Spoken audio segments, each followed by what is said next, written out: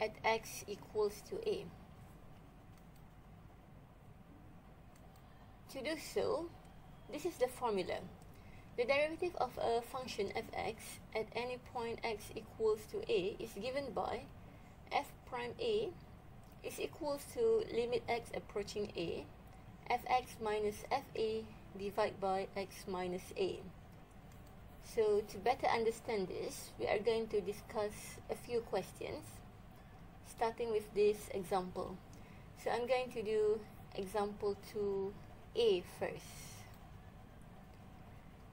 So to find the differentiation of this function at point a equals to 2, I am going to substitute in this formula. f prime a is equals to limit x approaching a fx minus with fa divided by x minus a. So to find f prime, our a is 2. It is equals to limit x approaching 2 and our fx is 3 minus 2x and then minus with our fa which is 3 minus 2 times with 2 divide by x minus 2 and then I am going to simplify our numerator. So we have 3 minus 2x minus with 3 minus 4 is equals to negative 1 over x minus 2. So this is equals to limit x approaching 2 and we have 3 plus 1 which is 4 minus 2x divided by x minus 2 and then I am going to factorize negative 2 from the numerator. So we factorize negative 2 so that now we have x minus with 2 over x minus 2. And then I am going to cancel the common factor. So we can cancel x minus 2 with x minus 2. So what's left is we have limit x approaching to negative 2. So the answer is negative 2.